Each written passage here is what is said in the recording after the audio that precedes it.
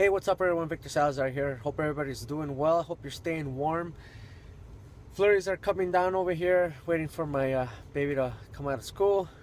Anyways, I'm getting geared up to do the 31 days of music. I'm very excited about it. Um, I hope you guys can tune in and watch the videos. Trying to get some content put together so I can be ready and, and get this going. Um, working on a, one of the records right now, so lot of information on that. So uh, the videos may contain one full record, or it may, you know, have more than one. But like for albums, I might just uh, dedicate the video to that one album since there's probably a lot of titles.